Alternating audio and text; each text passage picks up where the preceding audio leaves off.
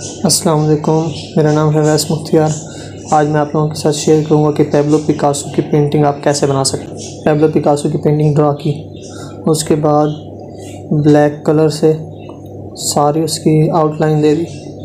और फिर आगे मैंने अपनी पेंटिंग स्टार्ट की बैकग्राउंड बनाया। फिर उसके बाद सारे कलर ऐसा ऐसा, इस तरह प्रोसीजर स्टार्ट कर दिया और वो प्रोसीजर स्टेप बाय स्टेप पूरी वीडियो में आप देख सकते हैं।